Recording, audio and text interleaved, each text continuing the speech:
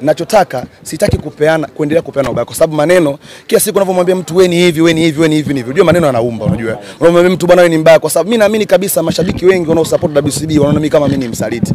Na wanaona msaliti kwa sababu gani? Sijawahi kuzungumza. Ninavyozungumza hapa sijawahi kuzungumza popote. Na nimeona nizungumze kwa sababu I have my own record label na wasanii wenzangu ambao Mwenyezi Mungu ametuinua, tunashikana mikono. Kuna Ibra, kuna kina Angela and all that. Kwa hiyo nachotaka mimi kila mtu ashinde mechi zake. Wewe pambana kivyako, fanikiwa. Alichokupangia Mungu kupata utakipata tu, ambacho Mungu hajakupangia kupata huwezi kukipata bro, hata ufanyeje. Kwa hiyo ina maana mimi siwezi kuchukia kumwona mtu fulani anafanikiwa, mimi sifanikiwi, kwa sababu kila mtu ana riziki yake. Maisha ni riziki. Uh, kuna kauli moja alizungumza kwenye ile video yake aliyopost, alisema kwamba oh, si, kuna, kuna siku moja kwa anafanya interview akasema kwamba oh, lazima upate baraka ndio ufanikiwe. Nataka nikuulize swali moja tu, kama unasema lazima upate baraka ufanikiwe. Mimi mwaka 2017 nilikuwa WCB. Levan alichaguliwa BT akaenda akashinda. Mimi nilikuwa kwenye ile record label. Hizo baraka zikopo wapi? Ile ni bahati yake yeye. Si umeelewa? Ilikuwa ni bahati yake yeye, jitihada zake na baraka za Mwenyezi Mungu zimfanya yeye akafanya ile. Kwa hiyo usitumie mtu kum, yani, kum, yani usitumie kivuli cha mtu kumwataki mtu mwingine. Hicho ndo sikitaki. Na ndio maana nikasema leo nitaweka wazi kila mtu ajue what's going on. Kwa hiyo sasa kilichoendelea ni kwamba uh, baada ya hivyo vitu vyote vikawa vinaendelea, mimi nikawa na, na nikaenda Ghana nikashuti video ya Burna Boy, nikarudi hapa tukashuti Kainama, ikatoka Kainama ikafanya vizuri sana. Baada ya Kainama kufanya vizuri, lakini hayo vitu vita vilikuwa ni vingi Yaani kwamba vitu vikuishia hapo. Unajua zile unaenda sehemu unapewa attitude hivi na hivi. Unazungumza mara si wewe unamloga, una si bosi wako, si unataka umzidi, si hivi na hivi. Vitu vingi. Lakini mimi always nilikuwa niko niko niko, niko, niko calm. Nikasema hapa nifanyeje? Lengo langu ni kutafuta peace. Kwa sababu mimi nilikuwa naamini kitu kimoja kwamba the more invest in the music industry, itafika wakati itafika wakati record label itakuwa kubwa. Ishakuwa kubwa. Konde Gang ilikuwa ni dream yangu lakini sikuiona Konde Gang kwenye hii miaka miwili. Nilikuwa naiona baadaye. Si umeelewa? Lakini ilikuwa tu there's no way, yani lazima mimi nito, nitoke. Na baada ya kuona hivyo vitu vyote vinaendelea nilichofanya nikasema okay, mtu gani ambaye anaweza kukaa na bro akazungumza naye akamwelewa. Nikasema kwa wakati huo nimesema leo nitataja kila kitu. Uh, boss Joe Kusaga alikuwa ni ndo ushikaji unaiva wakati tunaenda kufungua media. Nikamfuata boss Joe Kusaga nikamwambia boss, kuna A B C Z. Mimi niko straight, ukinichukia sawa. Nachotaka mimi tusipeane ubaya. Yaani usinifanye mimi nionekane mbaya katika jamii wakati mimi unajua kabisa sina ubaya wote. Na unajua kiasi gani nimefight kutafuta peace lakini hukuitaka. Usitaki leo nikupe fadhila ambazo wewe ulizikataa mwanzo. Si umeelewa? Nikamfuata boss Kusaga nikamwambia boss, kuna hivi na hivi vinaendelea bwana kati yangu mimi na brother wangu bwana. Hivi tumia vinipendezi, tunafanyaje? Akanambia akaniletea contract yako, nikamletea contract. Ah, akaniambia hii contract mbona na vitu vingi tofauti tofauti hii nikikutafutia mwanasheria mbona uwezi hata kulipa hizo hela? Nikamwambia sikiza, mimi sitaki unitafutie mwanasheria, aidha mawili, kama unaweza kuongea na bro tukayamaliza ili uweze kuwa cool, nitashukuru sana. Aidha nitafute njia ya kulipa pesa, si umeelewa? Nachotaka mimi ni peace, nilipe pesa ili najua nikishalipa kila kitu kitakuwa kila kitu kitakuwa ni fresh. Akaniambia basi mimi nitakurudia. Hakunirudia, hakunirudia. Nikasema hapa nimekosa msaada, nikasema nikamfuata mama yake Nasibu, mama Dangote, nikamwambia mama, kuna vitu vinaendelea moja mbili tatu nne tano sita saba, mimi sipendi kinavyo, afu ni bro, unajua. Sisi ni kama washikaji, tumetoka mbali sana mpaka hapa tulipo, tushasaidiana vitu vingi, tushafikia mpaka stage ya kuvaliana nguo, yani ni washikaji. Umeona, mimi ninachofanya chochote ambacho nakifanya, najaribu kumfanya awe proud tu, najaribu ku, kumfanya yeye awe, ni awe ni icon wa muziki Tanzania. Umeona bwana, yani mimi nikiwa pale mtu anaona kabisa kwamba mimi ndo nilifanya Harmonize akawa pale. Umeona bwana? Si, yani mimi naamini kila mtu ana nafasi yake kwenye muziki. Umeona? Na eti sio kwa sababu mimi nimesainiwa niache leo kukimbilia ndoto zangu. Kwa mfano, labda nikupe nikuulize swali dogo. Uh, hamna msanii yoyote ambaye amewahi ame, ame, ame, kuperform MTVM MTV Ema kutoka Africa, right? Rayvanny ndo msanii wa kwanza, si ndio? Ina maana Maluma alivyomcheki Rayvanny akamwambia nimependa ngoma yako, nataka tuje perform MTV. Kwa kuwa Diamond hajawahi kuperform MTV, Rayvanny alitakiwa katae ina make sense ndio hicho kwa mimi nakifanya. Ina maana nilikuwa nakimbilia ndoto zangu, si umeelewa? Kwa kukimbia ndoto zangu nikaanza kuonekana mimi mbaya, naonekana kama nataka ku overtake. Na ukichunguza kwa makini, wasanii wote ambao wamegombana na Diamond walikuwa wanagombana na Diamond pale tu ambapo wanaanza kushine. Wakiwa wako chini wanakuwa ni marafiki. Mfano mdogo Sheta alipokuwa yuko chini alikuwa ni rafiki Diamond anamsaidia hivi na hivi. Alipoanza kushine tu ku stand out, wale watu wake pembeni wanakuja wanambia, umeona anakupita huyo. Omid Dimpoz the same. Na mimi na Bro, nimekwambia nitazungumza kwa sababu sitaki nionekane mbaya kwenye jamii. Nachokataa ni kutengenezewa mazingira kuonekana mimi ni mbaya kwenye jamii wakati mimi sio mtu mbaya. Omidimpo the same. Kuna kipindi Omidimpo za Diamond walikuwa hivi, ndio ugomvi wao ulianzia hapo. Si umeelewa? Na wasanii wengine kibao. Na kingine cha kuongezea, msanii yote ambaye ashawahi kushine akahit Tanzania, lazima awe amegombana na Diamond. Kuanzia kina Bill 9 wote wamegombana na Diamond, vita kabisa. Bainani akatoka kwa moto ni vita. Umeona? Sui ukija sui akina nana akina Benpo wote, akina Alikiba wote. Ukihiti tu yani ukifika kwenye pitch fa lazima uwe ugomvi. Si umeelewa? Naomba ndio na topic yangu, sijafika huko bado. Kwa hiyo uh, kilichotokea mimi nikawa najaribu, najaribu kutafuta peace, namtafuta mama yangu wote, namuelezea. Kumbe wakati mimi namuelezea mwenzako ananichola. Yeye mwenzako ni moyoni shaweka kwamba unataka kumpita mwanangu wewe. Sio umeelewa? Yaani mentality ishakuwa hivyo kwenye record label nzima mpaka kwenye familia, yani kwamba huyu lengo lake ni ku, kumpita mtu. Sio umeelewa? Kwa mimi nikawa na fight sana huku na huku na huku na huku na huku. Sasa tukienda kwenye show unakuta ni hamna peace, umeona bana? Yaani mtu yani unajua zile ni kama unatengwa, kuna hivi na hivi. Mimi nikawa namfuata bro, naambia sikiza bro, hii ni nini? Tatizo gani? Kama kuna kitu nimekosea mzee, tukae chini tuzungumze. Umeona bana? Ah, inaenda inarudi, inaenda inarudi, mara hivi mara hivi, kila siku nazaliwa maneno mapya. Unajua bro, mimi ni mtoto wa kimaskini na ninachojaribu kufanya ni kukimbia tu ndoto zangu. Unavyoniambia eti nimeenda nimefanya kolabo nimefanya kolabo na mtu msanii Nigeria, eti ndo nikata dola elfu tano dola elfu tano ukichange hiyo ni milioni kumi na mbili. Mamangu mimi anaishi kijijini bro, mpaka hapa nazungumza na yeye, nimemjengea nyumba, nashukuru Mungu, nimemnunulia gari ya kutembea, nashukuru Mungu, lakini ana deserve more than that, si umeelewa? Kwa jina langu.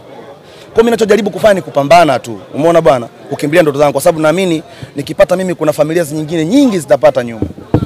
Ikaenda bana boy, Kainama imetoka ya moto sana. Sikiliza, msanii yote wa West Africa anaofanya ngoma na wewe anatengeneza tag, yani kwamba akija huku kuna mtu wake yupo. Bana boy anakuja Uganda, anipigia simu, ananiambia ananiambia uh, bwana njoo Uganda mwanangu tu perform. Mimi nipo kwenye record label, of course nika check management. Nika bana bana boy anakuja matufanya ngoma, ngoma ni kubwa, anakuja Uganda, kaniomba nene nikamsupport ku show love. Nakumbuka kwamba tuna nyimbo zingine tumefanya na bana boy ziko ndani. Kwa hiyo na maana tusipoenda anaweza kaona kama kumbe hamna umuhimu wowote. Alafu nyimbo zingine zisitoke. Bro hizo nyimbo mpaka leo hazijatoka unajua. Ikabidi aka- a ah, ukitaka kwenda Rwanda, ukitaka kwenda ilikuwa ni Uganda Rwanda? Rwanda. Ukitaka kwenda Rwanda natakiwa utupe dola elfu kumi.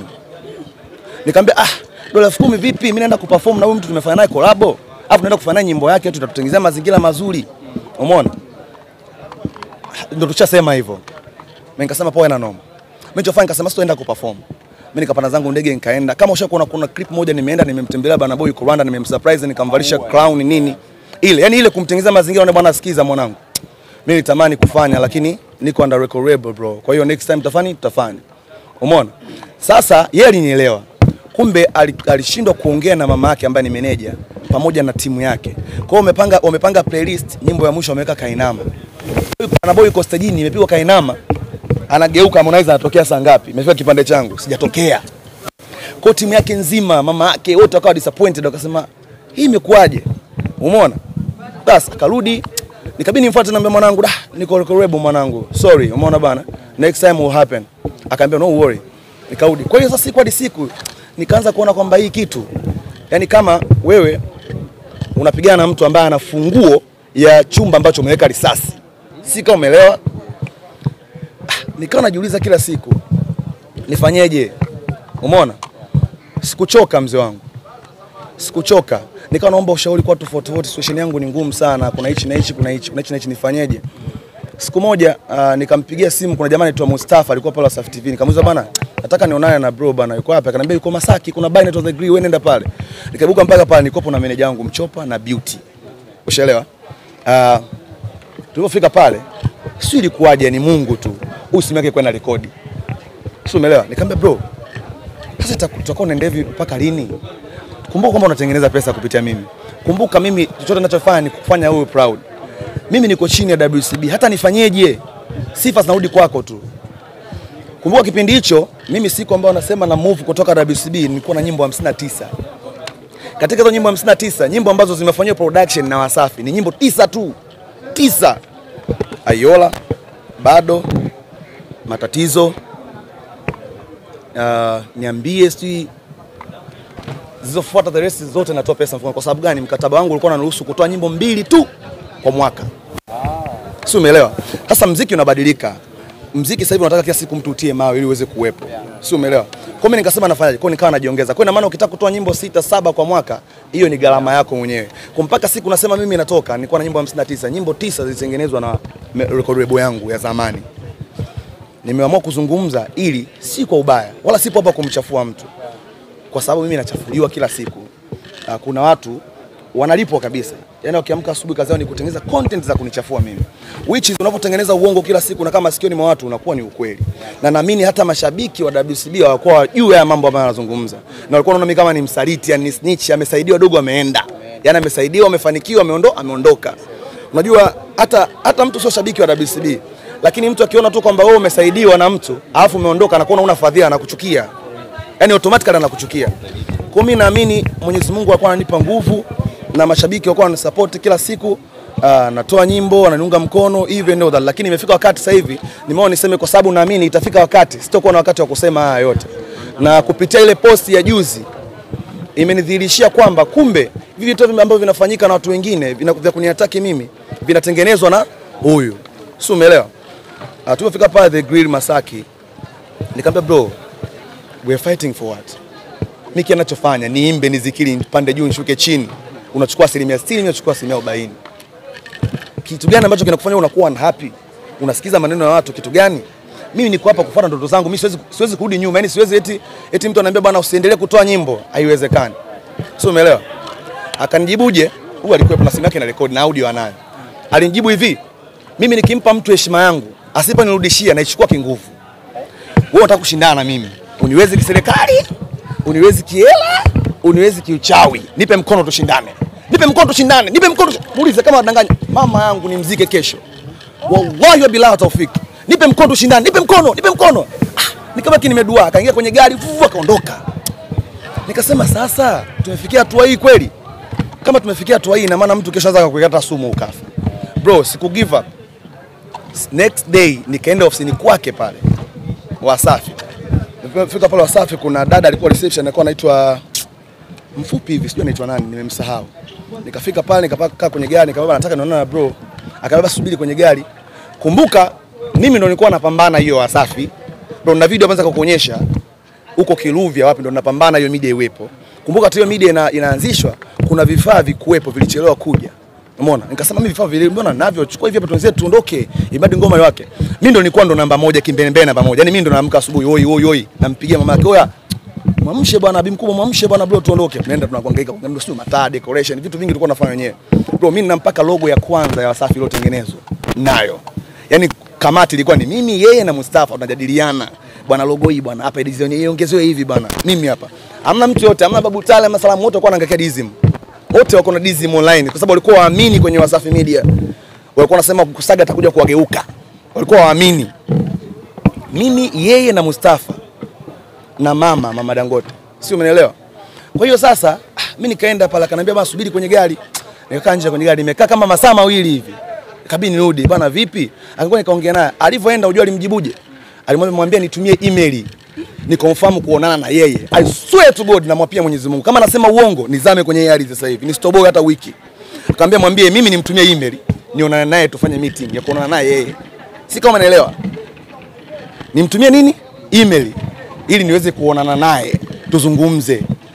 Hiyo yote nilikuwa natafuta peace bro, si kama unaelewa? Hiyo yote nilikuwa natafuta peace, nilikuwa natafuta nisi- tusigombane. Kwani tugombane? Tukae chini tuzungumze. Kama tumekoseana, kuna sehemu ambapo hauko happy, tukae tuzungumze. Niambia bwana, mdogo wangu, ulifanya moja mbili tatu mimi sijapenda. Ushaelewa bwana? ili tuweze kusonga mbele, kwa sababu mimi nilikuwa naamini kwamba sam, uh, samaki mmoja akioza wote wanaoza. Mimi nikiondoka, mimi nilikuwa ni firstborn. Ushaelewa bwana? Nikiondoka, ina maana nikiondoka kwa ubaya, kila mtu ana kalma zake. Mwenyezi Mungu anampa kalma zake. Unaweza ukategemea mtu akitoka atakufa, kumbe akitoka hawezi kufa, watu ndo wanampokea. Na naamini kabisa 100% yani, uh, mawazo yalikuwa kwamba huyu akitoka nje anaenda kufa, kwa sababu Lichi Mavoko alitoka akapotea, na asilimia 99 ya Watanzania wote walikuwa wanaamini kwamba ah, yani ile ilivyoanza tu tetesi ya Harmonize anatoka Wasafi, ah, anapotea anapotea anapotea, miaka mitatu sasa hivi na nimetoka Marekani nimetua hapa sasa hivi. Kwa hiyo sasa uh, kilichofuata ni nini? Mimi nikampigia simu babangu, nikamwambia mzee, na face moja mbili tatu nne tano sita, tunafanyaje? Kila mimi ninachofanya naonekana nafanya kwa ajili yake. Sio nikinunua nikinunua gari. Umeona? Kwa mfano nilikuwa naendesha Prado nyeupe. Kipindi hicho Diamond alikuwa na V8 nyeusi. Mimi V8 ilikuwa ni dream car yangu. Umeona nikajichanga nikavunja ile uh, Prado nikaongezea pesa zangu nyingine nikachukua V8. Umeona? Kanunua V8. Atakuwa kama wewe. Umeona? Zikawa hizo yani kila ninachofanya nikaona yani nimejitahidi sana kutafuta peace, nimepambana sana kwa sababu no matter what bro, me I got respect to him. Yani hata iweje. Leo hii umeona licha ya makelele yote unayosikia, matusi, vitu unavyosikia bro, mimi nina tattoo ya Diamond. Umeona hii hapa, hii tattoo. This is the face bro. Si umeona? Hii hapa ni sura. Si umeelewa? Si umeelewa bro? Si umeelewa? Hii ni sura. Umeelewa? Licha ya vitu vyote kuna siku uh, Mchopa alisha kuniuliza kwamba ah, kwa nini wewe una tatuu ya Diamond ikiwa kila siku anakutengenezea mazingira wewe ufe kimziki? Yuko tayari hata leo wewe ni wewe ufe usiwepo duniani. Nikamwambia sikiza, wakati nachora tattoo nilijua kitu kimoja. Alinilift alinilift kutoka sehemu moja kwenda nyingine. Sisi ni vijana. Inaweza ikatokea siku kwa bahati mbaya tusifanye kazi pamoja. Hii itakuwa kama ni app, yani kama ni kitu ambacho kumbukumbu kumbu, kwenye akili yangu na kwenye moyo wangu na vitu kama. Ndio maana mpaka leo sijafuta na sina mpango wa kufuta. Lakini kwa vitu jinsi vinavyoendelea mbele nitaona kabisa mtu ambaye yuko tayari wewe ufe utakuwa nayo nini sasa? Umeona bana haina haja. Kwa hiyo sasa vitu vikaa ni vingi. Hivyo hivyo maugomvi mara umefanya hivi umekatwa pesa sio hivi na hivi. Bro mimi nishachajiwa milioni kumi. Kisa tu nilienda kuangalia mpira wa Burundi na Tanzania Taifa Stars. Kwenda kuisupport timu ya taifa. Kama unakumbuka siku Taifa Stars ilishinda goli moja na Burundi. Kwa furaha mimi nikashuka pale chini watu wakashangilia sana sio nikaperform nikarudi nikamwambia nilipe milioni kumi na nimelipa. Si unanielewa? Kwa hiyo vitu vikawa ni vingi, mara hivi leo, yani kile ninachofanya ikawa imefika wakati yani mpaka naogopa hata nikienda kwenye show itakuwaje, si umeelewa? Ikafika wakati mpaka bro, nikaamua nijitenge, nikawa na watu wangu, ikiwa kwenye show naenda na gari yangu mimi mwenyewe, ili kuepusha shari, kwa sababu isije ukajikuaa mtu akasema umeona? Umeona udogo huyu, mkafika wakati hata kurushana ngumi. Kwa hiyo fika wakati huo, nimejaribu kila sehemu, nimemtafuta Sunani nani, kutafuta peace, nimefanya vitu vyote, mimi nikashindwa. Nilivyoshindwa uh, nikamwita mzee wangu kutoka nyumbani akaja, nikamwambia baba, moja mbili nne tano sita. Kwa kwa hiyo tu ilofikia, mimi siwezi kuendelea, siwezi kuendelea, nataka peace, nataka nitoke. Kipindi hicho nilikuwa natembea, kipindi hicho nilikuwa nilikuwa kwenye mahusiano na Sara. Kwa hiyo alijua kabisa kwamba huyu akileta jeuri ya kutoka anajitegemea Sara atafanya atamlipia. Uh, wakamtumia kwa dada mmoja anaitwa Juju, ni, ni mwanamke wake na dansa wa Diamond anaitwa Dumi, ni mwanamke wake. Yule Juju alikuwa ni friend wa Sara. Kwa hiyo sasa alichofanya ni nini? Wakamset waka, waka baada ya kumset, unajua alichokuwa anafanya kitu gani? Akawa na kodi bodaboda kama tatu hivi. Bodaboda moja inapaki ofisini kwangu, bodaboda moja inapaki si wapi. Kwa ina maana nikitoka tu wale bodaboda ambao bwana ametoka hapa. Kwa nikiwa natoka saa nipigia simu. Ah, where are you going? Nabaki imekuaje? Kwa wale bodaboda walikuwa wanifuata almost miezi mitatu bila mikujua bro. Siongeza hata kuniua. Kila ninapokanyaga nimeenda kula. Kwa hiyo ikitokea labda sometimes nimejikwaa niko na mtoto tunapiga story, sala huyu na gari. Anajua. Nikamwambia kwamba ukitafuta mabaya yangu utayapata. Ila ukitafuta mazuri pia utafanya nini? Utayapata.